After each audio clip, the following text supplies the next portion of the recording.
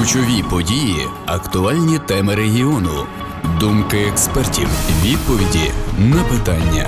Відтепер і на регіональних телеканалах Суспільного слухайте і дивіться у проєкті Українського радіо Радіо День. Всім, хто налаштований на суспільне, наші вітання. Вітаємо, друзі. Долучайтеся до ефіру. Це програма між нами. Проєкт Радіодень. В студії Олександр Пашненко та Поліна Сніжна. Друзі, можна долучатись і до нашої компанії за допомогою студійного телефону 233 2011, код Запоріжжя 061. Не забуваємо про наш ютуб канал Суспільне Запоріжжя і наш офіційний сайт zp.суспільне.медіа. На сторінці проєкту Яка твоя історія у Фейсбук з'явився анонс вуличної виставки таємниці старого Олександрівська, яка відбудеться у Запоріжжі 4 липня з 12 до 18 години на Майдані Волі.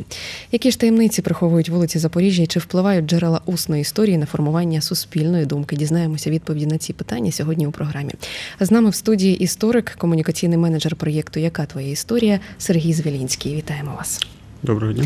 Отож, Сергію, чи приховують вулиці Запоріжжя таємниці і як їх розпізнати за допомогою фото та кінохроніка?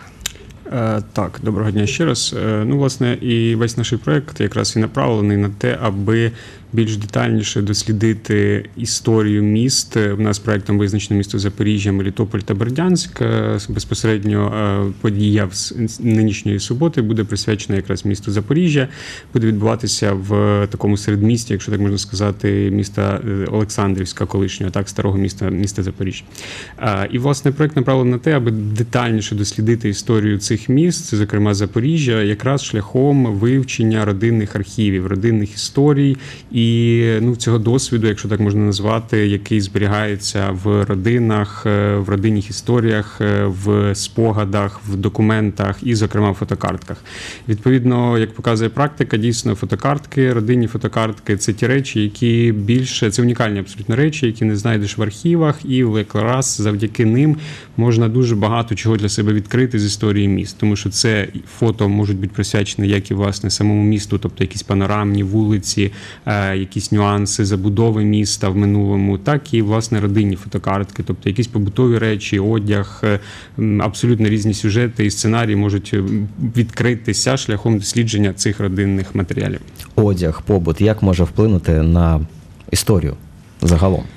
Е, ну, бачите, зараз е, з'являється безліч таких популярних напрямків історичних досліджень. Так, зокрема, от якраз ця мікроісторія, локальна історія, і зокрема, от е, знову ж таки ті фотокартки, які, наприклад, передають нам образи людей, які мешкали, тобто як вони одягалися, в що вони одягалися, який був святковий одяг, наприклад, там не знаю, який буденний, різні соціальні групи, різні етнічні групи населення, яке на нас на півдні проживало. Тобто ці всі речі якраз і зафіксовані в фотах, якраз і вони і можуть показати відобразити зобразити ті нюанси, які, наприклад, не передають документальні джерела чи будь-які інші. Тобто зображальні джерела це от такий візуал е, базовий, який нам допомагає витягнути безліч інформації про тих чи інших людей, е, періоди, сім'ї, родини і тому подібне. Е, в дослідженнях беруть фотографії ХХ століття лише так? Е, Наразі так, більшість фото, які нам надходять, які нам дають на сканування люди, це 20 століття, але трапляються і 19, тобто за кінець 19 19 століття, тому що в принципі фотокартка е, в нашому регіоні вона з'являється десь в останній чверті 19 століття, так вже масово. Зрозуміло, що не всі мали можливість е, фотографуватися, але, скажімо так, більш масово то фото вже побутує в навіть там в селянських родинах, от з початку 20 століття, тому що для там для кінця 19-го чи там останній чверті 19-го це був така, ну скажімо так, недешевий такий, е, недешеве задоволення, і власне фотографувати користуватися могли мали можливість такі найбагатші, скажімо так, прошарки населення. Якщо взяти ці фотографії, вони не спонтанні, вони постановочні. Е, так, е, якщо брати от кінець 19-го, початок 20-го століття, більшість фотокарток дійсно постановочні, тому що ну, власне, і саме фотографування це такий е, певний процес, е, ну, скажімо, таке дійство, так, до якого готувалися. Тому що фотографуватися треба було або йти в фотоательє, наприклад, заздалегідь підготувавшись, одягнувши якісь там найкращі речі. Або, наприклад, коли приїжджав фотограф, виїзна фотокартка, так звана, так, коли приїжджав фотограф там чи то в село, чи просто запрошувався в родину.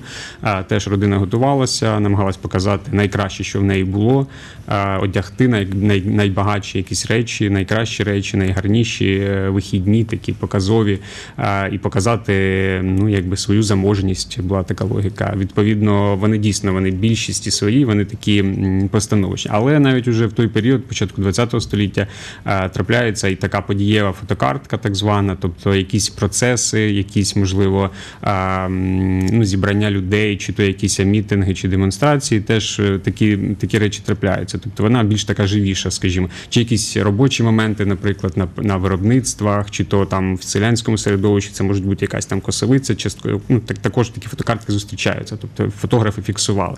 І такі, як правило, фотокартки вони використовувались фотографами для листівок. Тобто ці зображення поміщались на листівки. Якраз є такі навіть серії там види південної України, там, наприклад, так де зображалися от такі робочі моменти, тобто краєвиди, панорами тих чи інших міст, наприклад. Тобто взагалі дуже дуже цінна штука, тому що ми маємо можливість поглянути на ті чи інші архітектурні об'єкти, наприклад, ті ж самі церкви, які ми фактично втратили за радянський період, які були зруйновані, знищені в контексті антирелігійної е, політики.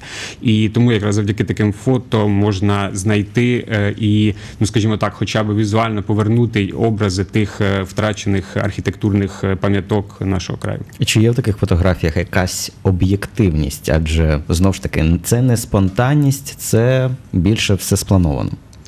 Е, ну, я ж повторюю так, що різні є напрямки. Є суто постановочні. Якщо ми, наприклад, говоримо про вже радянський період, то ця постановочність е, фотокартки вона більш відчутна. Тобто тут чітко можна розрізнити. Тобто на, на, оцей, на, на оцей офіціоз, на офіційні фотокартки, які використовувалися, ну, які робилися фотографами, фотокореспондентами, так, для певних видань, для е, газет, журналів і тому подібне, для репортажів різних. Тобто вони в більшості свої постановочні. Тобто всім відомі ці там класичні там портрети, там певна постановка, чи там якась група людей на фоні там портретів вождів, Леніна і тому подібне. Тобто це така постановка класична.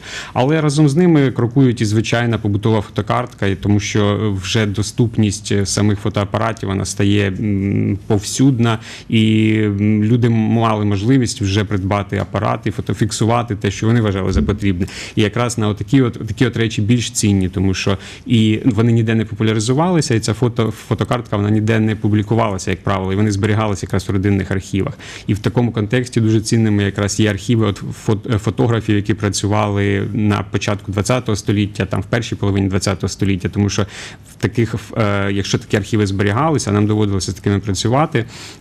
Там величезний масив фото, ну скажімо так, та, що робилася там в стіл, скажімо так, яка ніде не публікувалася, і було виключно, ну якби так, скажімо так, для задоволення самого фотографа робилося, так, тобто якісь цікаві моменти фіксувалися. Це теж дуже цікаво і цінно для відображення реального стану речей, е, реального побуту, реального міста і тому подібне, а не тієї картинки, яку намагалися показати офіційно. Якщо говорити з приводу проєкту Яка твоя історія, окрім збору фотографій, кінохронік, е, ви ще збираєте якісь, можливо, дописи або анотації щодо цієї фотографії від тих, хто вам надає ці фотографії? Так, звичайно.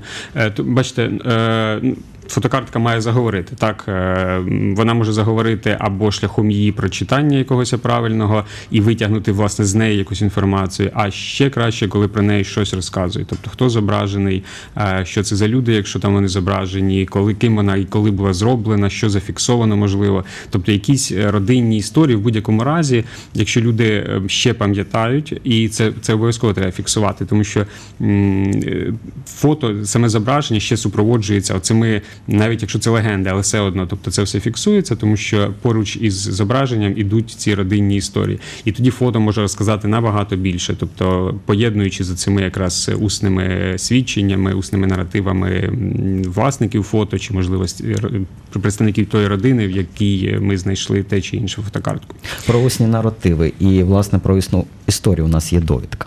Саме зараз її послухаємо.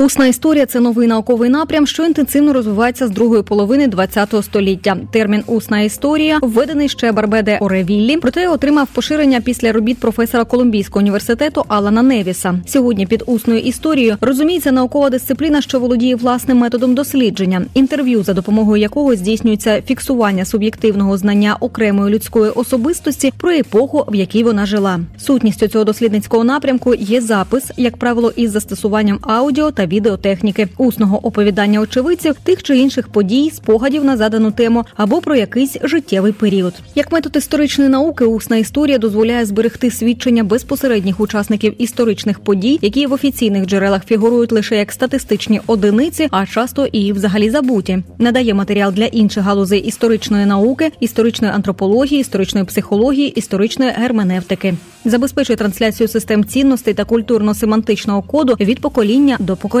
Йдеться у методичних рекомендаціях зі збору матеріалів усної історії. Ми слухали інформацію про те, що ж таке усна історія. Чи впливають джерела усної історії на формування суспільної думки? Е, Звичайно, вже ми починали говорити так, що якраз цей напрямок зараз дуже популярний і в європейських країнах, і власне в таких е, сучасних трендах е, історичної науки. Тобто він більш живіший. Як правило, такі речі вони прості, вони простіше сприймаються якраз читачами чи то слухачами, тому що це безпосередній досвід тих чи інших громадян, які переживали ті чи інші події. Тобто, як ті чи інші події, про які знають всі, наприклад, як вони переживалися конкретними людьми, конкретних родинах, як вони конкретно затрогнули е, конкретні родини там чи конкретних е, персонажів. Тому це дійсно живіше. Е, Тобто, ми маємо вже з таким другим виміром історичних досліджень, не просто фактового, а вже пропущеного через свідомість, і з якого із цієї інформації вже зроблено якісь вис- висновки, зроблені певні, певні вже, скажімо так, якась опрацьована та чи інша інформація, опрацьована людиною. Мозком людини і- вже більш така концентрована інформація видається. Тобто це живіше, це цікавіше в деякому в деяких аспектах. Ну і власне це відкриває просто колосальні можливості для подальших досліджень. Які складнощі можуть виникнути при цьому?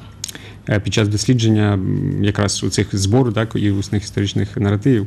Е, Ну, бачите, е, першим таким нюансом всі говорять, що це є суб'єктивність, на яку треба звертати увагу, тому що дійсно ці речі, ну тобто, ми маємо роботу і маємо справу із пам'яттю. Пам'ять може бути різна, так вона знову ж таки вона суб'єктивна пам'ять і інтерпретація тих чи інших подій.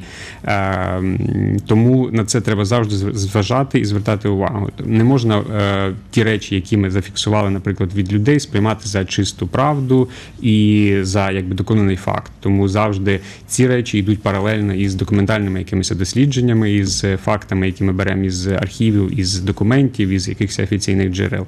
Тобто дві два таких напрямки, як було і як сприймалося. Тобто два таких магістральних напрямки. Це дійсно цікаво і дає нові можливості для пошуків і досліджень. Чи існують якісь складнощі вже зі збору фотографії власне, власне в нашому Запорізькому регіоні? Ну, бачите, ми збираємо давно, так, але зараз це більш набуло таких уже завдяки проекту. Це набуло таких ем, окреслених певних рис і масштабів, е, і певна популяризація. Якраз завдяки цьому е, люди більш дізнаються, для чого це потрібно і що в подальшому з цим буде відбуватися. Е, Труднощі лише одні, тобто не всі люди, наприклад, хочуть ділитися або не хочуть, ну скажімо так, не те, що не ділитися, а вони вважають, що їхні матеріали їхні родинні, наприклад, ну не варті уваги, можливо, там е, професійної науки чи істориків, чи в принципі не, не важливі для міста. Це насправді велика помилка і неправда, тому що кожні, ну скажімо так, люди можуть не усвідомлювати про ті речі, які в них є. Так і це підтверджується багатьма вже нашими знахідками, коли люди просто приносять і кажуть, там, наприклад, це там родинний альбом, там немає нічого цікавого, він мені там навіть не потрібен, можу вам подарувати, наприклад. Але там е, і, наприклад, там там є люди, яких я вже не пам'ятаю, говорять люди, так е, власники тих чи інших альбомів, наприклад. Е, Але потім при перегляду знаходиш просто колосальні речі, наприклад. Тобто знаходиш і підписані фотокартки з прізвищами людей відомих в місті, наприклад, чи знаходиш відомі якісь краєвиди в місті, чи відомі якісь фотокартки на фоні якихось будівель, які зараз знищені, е, чи знищені були в Другу світову війну, чи раніше. Тобто, ну і коли вже починаєш опрацьовувати, коли вже професійний там історик чи урбаніст починає працювати з цими матеріалами, відкриваються дійсно нові такі сторінки, і матеріали можуть виявитися колосальними, тобто надзвичайно цікавими і важливими. Головне, що не важливими загалом для міста чи навіть там в національному масштабі, тому що допомагають, наприклад, відтворити якусь історію, відтворити якийсь період історії міста, забудови міста чи просто якихось подій, які відбувалися в місті. Тому професійний аналіз, професійний підхід до е, опрацювання цих матеріалів дійсно. Тобто, ще раз наголошуємо, якщо ви думаєте, що там нічого цінного, то це неправда. Тобто з цим треба попрацювати професійним історикам, і вони завжди знайдуть там щось цікаве. Друзі, цікаві і наші координати, за якими можете долучитися до нашої сьогоднішньої програми 233 2011, код Запоріжжя 061, студійний телефон, Ютуб канал Суспільне Запоріжжя і наш офіційний сайт zp.suspilne.media. Якщо ми вже почали говорити про те, що історія родини може впливати на історію всієї країни, пропоную послухати коментар. Дійсно, з цього приводу маємо коментар голови правління Запорізького наукового товариства імені Якова Новицького Сергія Білівненка про інформаційне наповнення під час вивчення фотодокументів. Загальна історія складається із ось таких маленьких побутових родинних історій. З одного боку є офіційні фотографії. От зараз, завдяки співпраці із Державним архівом Запорізької області і Олександром Сергійовичем Тедеєм, велика йому е, вдячність. Ми е, підняли комплекс фотографій з історії міста Запоріжжя, і там величезна кількість фотографій періоду будівництва Дніпрогесу, а потім будівництва е, великого так званого Запоріжжя після Другої світової війни. Фотограф Красовський такий був, велика кількість зробив. Так ось це фотографії, коли будували ці будинки. Вони офіційні, вони панорамні, вони прекрасні. Можемо простежити, яким чином заселялися, звідкиля заселялися ці люди, так яким чином е, створювалися ці райони Запоріжжя. Е, Створивши цю картину про е, заселення Запоріжжя, Бердянська, Мелітополя, ми переходимо на більш високий рівень, на залюднення цього краю, на урбанізацію цього краю. Тому що ще на початку ХХ століття 70% території України було сільським регіоном. І вже через 50 років урбанізація повністю захоплює дану територію, з'являються величезні промислові комплекси. Особливо це посилюється після Другої світової війни, великими темпами відбувається. І тут е, селяни, які переїжджають із навколишніх сіл, із інших регіонів Радянського Союзу, а вони з собою привозять сімейні альбоми і сімейні історії. І ми можемо простежити, звідкиля ж формувалася ота запорозька ідентичність, бердянська, мелітопольська, гуляйпільська, якимівська, оріхівська ідентичність. Звідкиля всі ці люди з'явилися, що вони з собою привезли. Ми слухали коментар голови правління Запорізького наукового товариства імені Якова Новицького Сергія Білівненка про інформаційне наповнення під час вивчення фотодокументів. Нагадаємо, що з нами в студії Сергій Звілінський, історик, комунікаційний менеджер проєкту Яка твоя історія? У нас є телефонний дзвіночок. Доброго дня. Алло, Доброго- алло, алло. Доброго дня, як вас звуть? У мене фотографія 30-го году сім'ї всієї є. Угу. У вас є запитання до нашого гостя сьогоднішнього? Тільки громче кажіть, бо я погано чую, мені 90 год. У вас- Після ото голодомору у мене сімейна фотографія є. У вас є запитання до нашого гостя? А? Запитання до нашого гостя є? Ну він же каже, що він фотографірує, а я е, та, так, е, е, я кажу, що таку фотографію, може, зробили б там. Мені 90-го, та сімейна фотографія хорошо видно. Дякуємо, дякуємо. Е, Якщо серед наших слухачів і глядачів дійсно є бажання віддати фотографію, чи візьмете, якщо бажання немає віддавати, але поділитися, які способи існують, е, щоб е, фотографія не лежала в сімейному архіві, а дійсно працювала на історію? Так, звичайно, бачите, чудова історія. Знову ж таки, люди готові, скажімо так, поділитися. Так Е, дивіться, це чудово насправді, е, що люди розуміють важливість тих чи інших е, матеріалів, які в них є. Тому що дуже часто зустрічаємо такі випадки, коли просто викидають всі от родинні архіви, фото. Ну вважають, що якщо там зображені люди, яких ми не знаємо, то просто реально викидаються. І це насправді це катастрофа для історичної науки, і в принципі для, для, для міста, не знаю, тому що там може бути дійсно цінні речі. Як, е, як, е, як ми можемо, скажімо так, ці матеріали опрацювати? Так, два напрямки. Тобто, якщо людині дійсно не треба ці фото, тобто вона може їх просто віддати, подарувати. В подальшому вони будуть заархівовані при Запорізькому науковому товаристві Якова Новицького. Е, Найцінніші матеріали можуть стати надбанням Національного архівного фонду шляхом передачі їх в архів чи їх копій, чи власне самих фотокарток в архів. Е, Пшеничного фоно, кінофону фотодокументів, який в Києві. Е, е, роди, фотокартки, які не родина, ну, родині, які потрібні, вона не хоче їх віддавати, і це правильно, тому що це родинні, якби такі реліквії, родинні речі. Ми просто скануємо, тобто скануємо в гарній якості обидві сторони, як правило, тому що там є підписи. Часто люди самі сканують, якщо немає можливості, наприклад, виїхати, чи людина десь знаходиться поза, може навіть Україною, то нам просто присилають їх. В такому випадку гарна скан-копія обох сторін фотокартки, те, що власне ми хочемо побачити. А якщо це в межах міста Запоріжжя, Мелітополь, Бердянськ, то наші координатори в Мелітополі Бердянській або ми тут на місці в Запоріжжі можемо приїхати, взяти цю фотокартку, відсканувати навіть при самих же їх власниках вдома, тобто взяти з собою сканер, аби люди не переживали там, що вони комусь віддали і там щось з нею може трапитися. Тобто, навіть при- прямо прямо на місці відсканувати і власне записати ті історії, відповідно, які можливо родина, якими хоче поділитися. Е, От е, людина, яка телефонувала, так відповідно говорить, що 90 років, і вона може якісь ще доповнити цю фотокартку якимись власними спостер... ну, якимись власними спогадами, розповідями і так далі, спостереженнями. Тому це подвійна цікавість. якби. Як звернутися? Існують якісь телефони, чи якось людині, яка дійсно ось зараз переглядає фотографії, до вас Так, достукатись? дивіться, телефони є. Е, Ми зараз в контексті цих всіх карантинних обмежень. Так, ми працювали більше в такому онлайн режимі. Відповідно, в соцмережах є телефони. Я розумію, що для більш старшого покоління, можливо, яке не користується соцмережами, це складніше. Зараз будуть знову таки проходити ця виставка, про яку ми говорили в суботу в місті. Ми будемо роздавати такі флаєри, тобто там буде вся вихідна інформація, куди можна подзвонити. Е, Можна напряму, напряму присилати ці матеріали на електронну пошту нам е, наукового товариства Новицького. А власне, якщо можливо хтось там із глядачів чи слухачів захоче це зробити, то я думаю, номер телефону в принципі буде достатньо, аби якось скоординуватися, сконтактуватися з нами, і ми потім вже домовимося, коли куди під'їхати, можливо, взяти ті чи інші матеріали, відсканувати і записати розповіді. Сторінки, власне, є у Фейсбук і Інстаграмі. Там теж є координати, Так, так, як так, можна координати, долучитися. так, так, так, звичайно. Щодо виставки 4 липня, де саме і в котрій годині, якщо той, хто не може скористуватися, наприклад, соцмережами, але бажає приїхати і, власне, на місці, чи можна буде відсканувати? Так, звичайно. У нас по місту заплановано три, е, три локації, так, з таким чином, аби три виставки, тобто це три різні локації будуть. Зараз перша будуть в суботу, це буде Майдан Волі.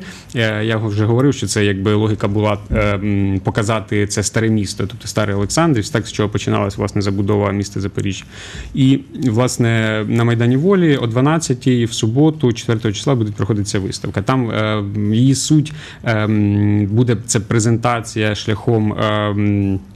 Е, е, Виставкових цих стендів показати історію забудови е, міста Олександрівська. Тобто такі цікаві фото, які раніше, ну як правило, ніде не публікувалися. Тобто це фотокартки, які ми збирали і по архівам, наприклад, в тому ж е, кінофонофотоархіві Пшеничного, який в Києві. Тобто це будуть унікальні е, фото, е, як правило, фото вулиць, е, ну якісь такі панорамні, якихось ключових об'єктів в місті, і от показати, як воно розвивалося, як воно забудовувалося, тобто куди воно рухалося за от власне свою історію.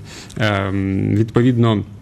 Вже наступні виставки будуть е, доповнені цими родинними матеріалами, доповнені родинними історіями. Відповідно на цій же виставці, яка в суботу буде, люди можуть, е, котрі будуть присутні, можуть знову ж таки коментувати, можуть ділитися своїми історіями про те, як розбудовувалася їхня вулиця, там про те, як будувався їхній будинок, наприклад, їхній квартал забудовувався, тому що це все дійсно цікаво. Ми маємо взагалі якби цікаве поєднання в Запоріжжі, да, цієї такої сільської культури, тому що ми знаємо, що в нас була Вознесенівка село, якби яке зараз стало частиною міста Запоріжжя, і це перемішання, скажімо так, міських практик е, і сільських. Ну воно взагалі дуже таке цікаве і відкриває теж поля такі для дослідження. І от якраз за, рахунок е, цих історій, якими поділяться місцеві мешканці, дуже багато допоможуть в подальших дослідженнях. У нас залишається 30 секунд. Карантинні норми будете все ж таки Так, звичайно, так, так. Всі, які передбачені, тобто. Е, Масочний режим, так, е, соціальна дистанція, ці всі речі обов'язково, звичайно. Тож, друзі, якщо у вас є бажання 4 липня долучитися, обов'язково пам'ятайте, що брати з собою треба маску, фотографії і гарний настрій. А сьогодні нагадаємо, ми говорили про проєкт Яка твоя історія та про те, чи впливають джерела усної історії на формування суспільної думки. З нами був історик, комунікаційний менеджер проєкту Яка твоя історія Сергій Звілінський. Дуже вам дякуємо. Дякую вам. В студії працювали Олександр Пашненко, Поліна Сніжина. Почуємось і побачимось на Суспільному. Ключові події, актуальні теми регіону, думки експертів, відповіді на питання. Відтепер і на регіональних телеканалах Суспільного слухайте і дивіться у проєкті Українського радіо Радіо День.